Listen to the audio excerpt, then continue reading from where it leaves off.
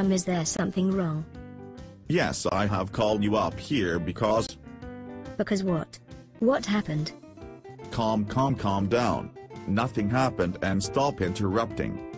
Then what is it? Am I fired? No, it is just I need you to.